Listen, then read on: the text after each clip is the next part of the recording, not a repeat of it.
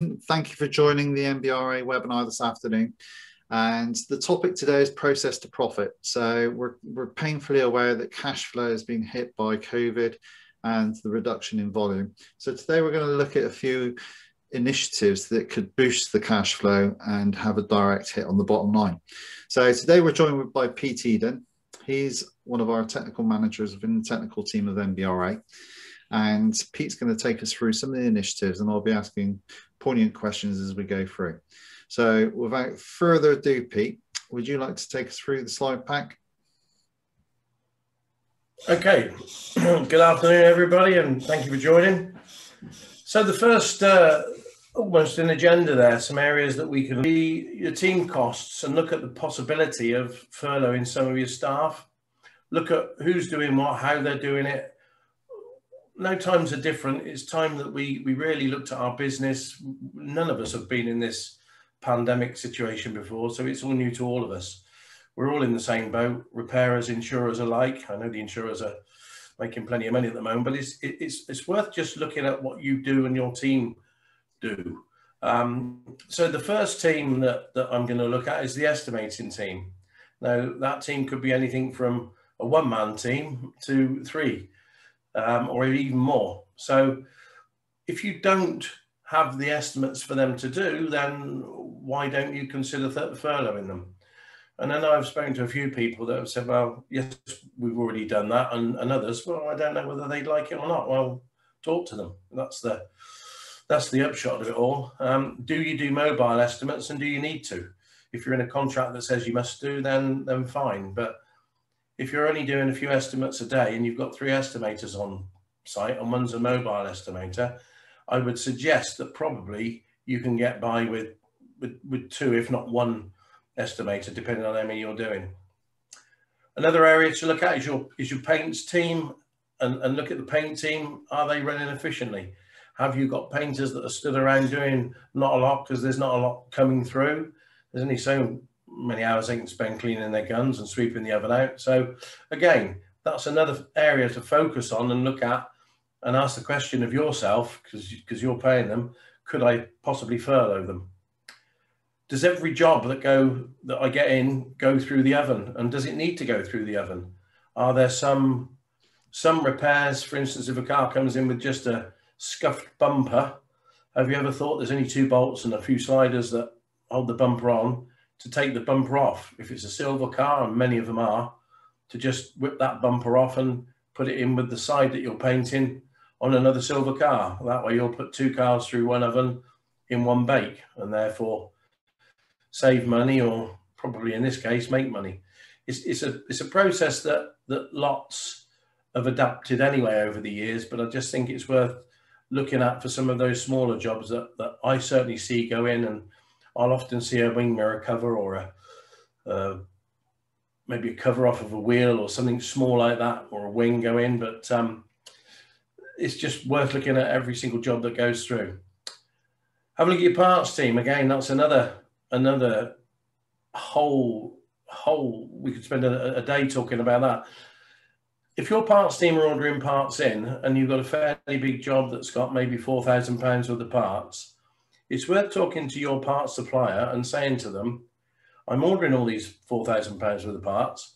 Once they're all in stock, bring them to the garage and I'll pay for them. Because what happens at the moment is they'll send £2,000 down and then the clock starts ticking. And then they'll send another £1,000 down, it starts ticking. And the last £1,000 worth of parts for that particular job that you need, you know what I'm going to tell you now, they're on back order. And that's where the whole thing starts to, to go awry. You don't even want to get that car in your workshop until you have all the parts to start it and finish it. There's no point starting a job unless you can invoice it.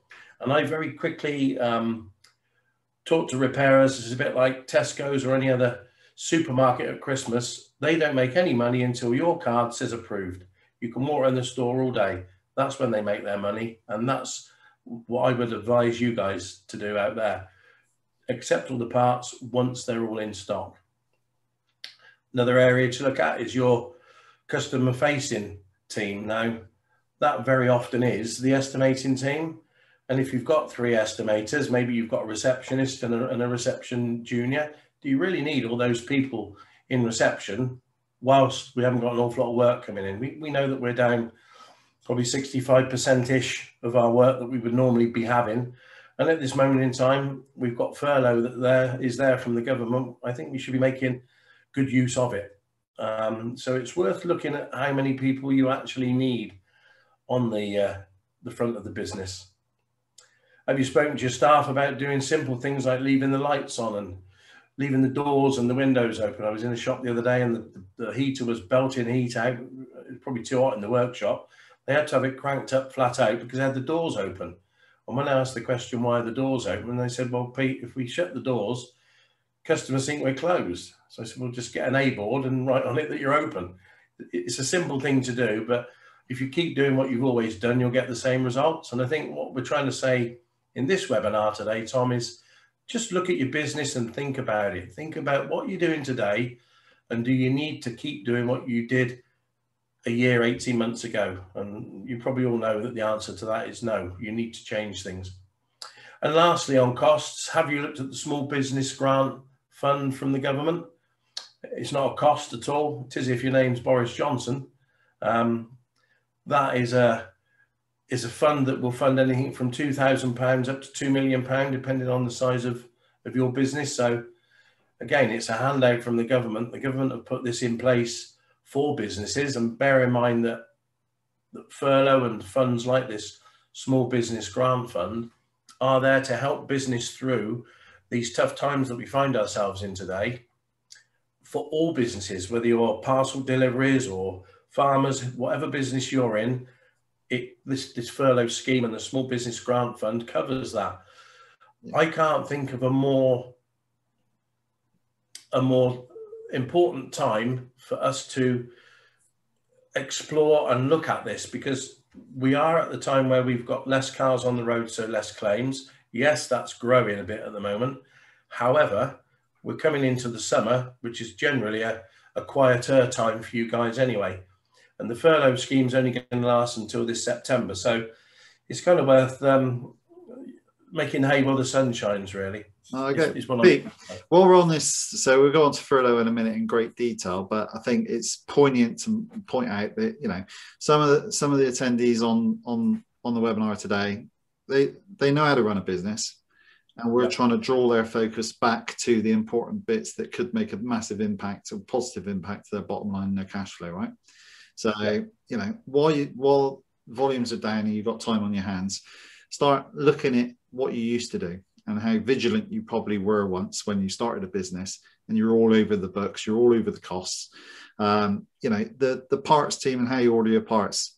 Get a basket of parts in. When I was at IRG, they introduced this and had a massive impact to the flow of the workshop because vehicles came in, you knew you had a cage of parts, you knew all the parts were there, they've been checked in, and they could crack on with the car. And not only that, you're only paying for the parts when they're delivered. So you've got probably 30 days grace on that when they're delivered. It all works out. Um, and then when you talk about estimators in a team, if you've got a team of three estimators and they're bubbling along, well, potentially put one on furlough, keep two in. If they're productive, great. If they're not, then furlough. I mean, we on our website we've got the VVDA, and we've got Andy from Crash Assessor. He does the estimates, and at the moment he's doing. I, I think he had a trial of doing estimates. So you sublet your estimates out to him, and he'd do one for like sixteen pounds plus that. He, he, I would trial that myself, just to see what the variance is from one estimator to someone completely different estimating, and seeing if the hours fluctuate is there more profit? Is it a, a training exercise for your VDAs? Because you can then mark that against a third party, in essence. Um, and then, you know, on, on the booth, do you need to crank the booth on? Have you got infrared? Could you take that bumper off and infrared it? There's, there's loads of different things that you can do on saving money. And I think, you know, some people already did this, but they, they potentially need to get back to it. But I think furlough is an, an important message today, um, and we'll we'll lead on to that in a minute. But yeah, I think Tom, one one thing that I set out when I wrote this presentation was really not to try and ruffle any feathers, but just to to, to make us all think about what we're doing and and just question what we're doing. If we're doing it all right, then great. Um, we tend to be an industry in denial sometimes, where we we think we're doing it right and, and we're not. And and I think that's just a case of it's not me. I don't want loads of people coming back to me saying, "Oh yeah, but it's this and it's that and it's the other." That's not what this is designed to do. This webinar is, designed to try and help them through the furlough, as you say, which which is fairly simple, but on the face of it could be complicated, um, and just enable people to think about their businesses, how they're how they're running them today. Most of our repairers are fantastic and run a really tight ship and are really good. And if Tom, if a repairer took one little golden nugget away from this today, I would consider my job as being well done because yeah. that's what it's designed to do. Which brings us on quite nicely to the uh, the furlough. I'm, I'm, not going to read that top um, paragraph out. You can read it while I'm waffling on if you like. But but basically, the new scheme is called flexible furlough, and and that paragraph is a sums it up pretty well from a, a company called Goodman. Somebody I can't see because Tom's over the top of him. But, um, Goodman Derrick. That yeah, well, they were um, health and safety and accountancy was their specialism. They're no specialists in furlough. So, like Tom said on our on our website, and there's also uh, a link there for the government furlough uh, page, which will help you through. Again, I'm not going to read this out. This is something I put up for you guys to look at when we've gone. It, it, there are so many numbers on there, so many things to talk about.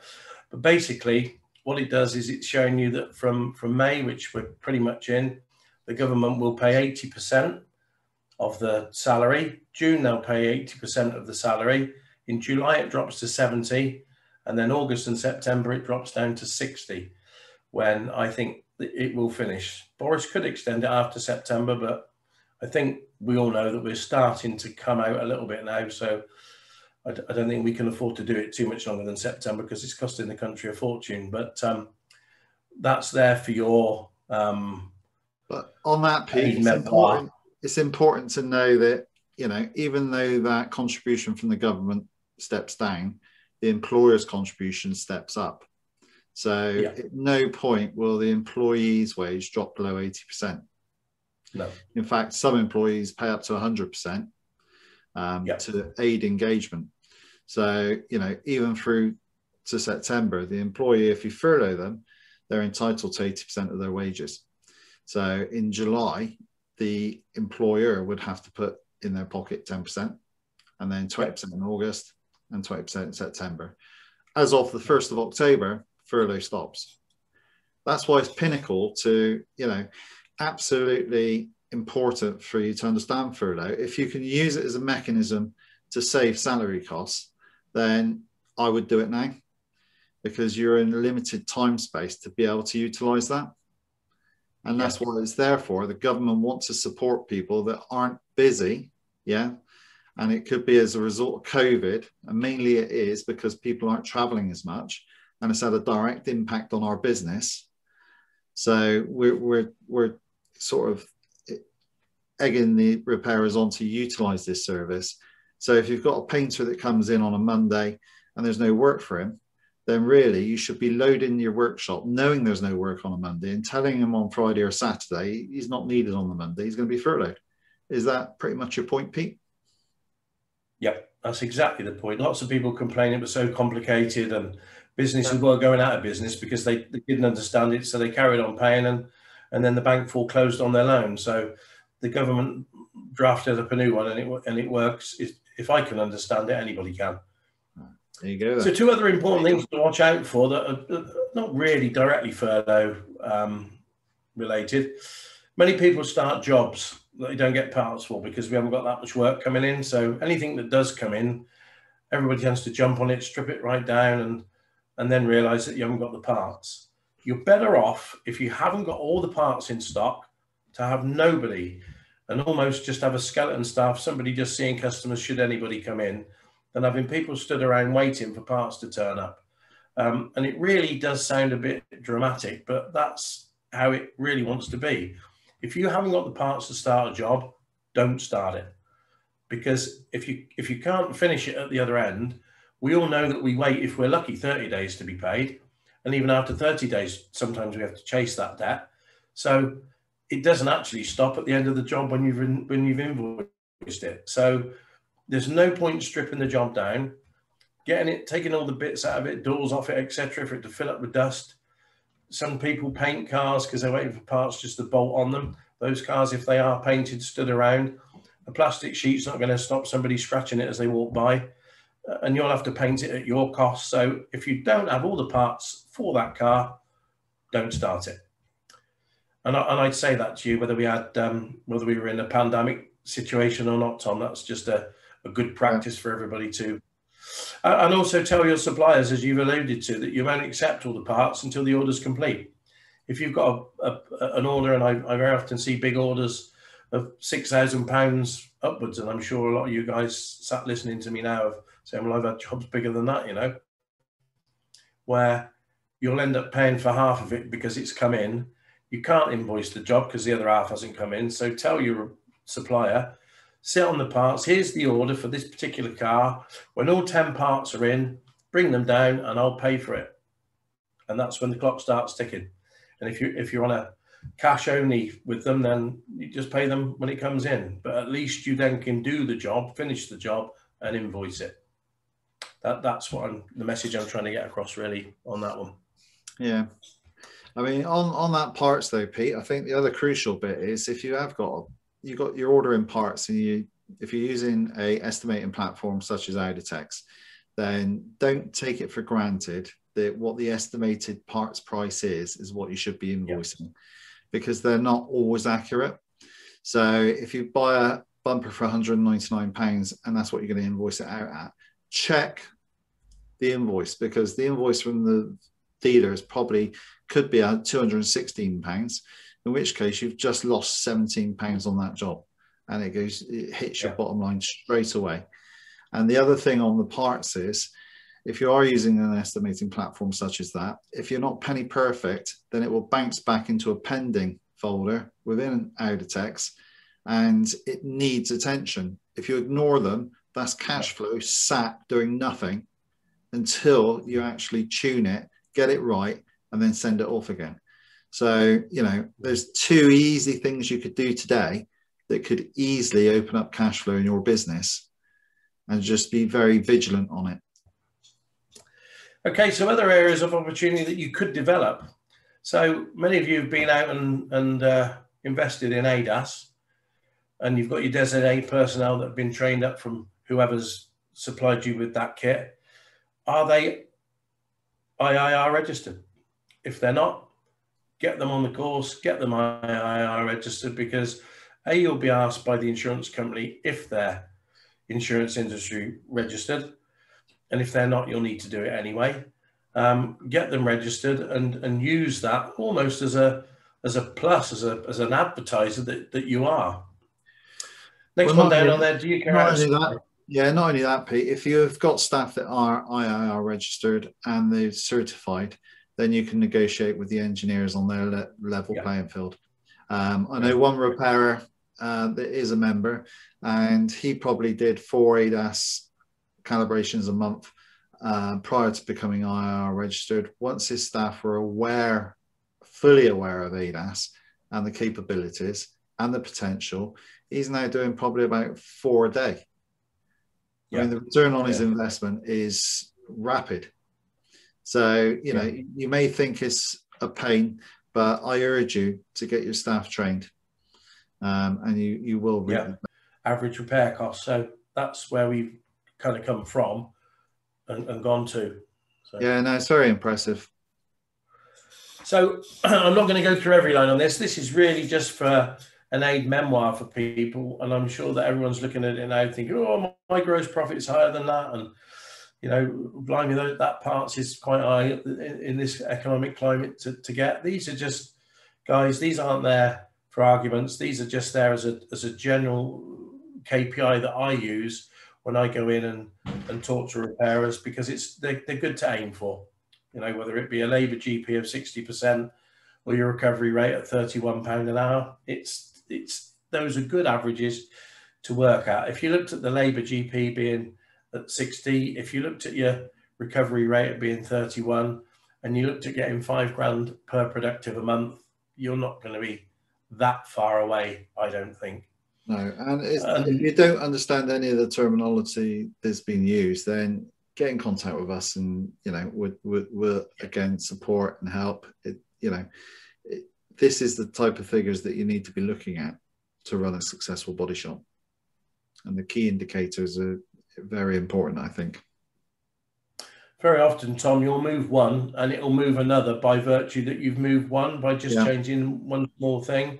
And, it, and it's just about being as slick as you can and, and, and, and just coming up with, with different ideas. Being recorded, so we'll go onto the website. So, it, you know, if you talk to someone, they want to watch it, they can go on, and give it 24 hours and it'll be on the website ready for people to watch on the NBRA. Pete, you're a legend. Thank you very much for your time today. And thanks for sharing Pleasure. Guys, thank you for tuning in. I appreciate your attendance.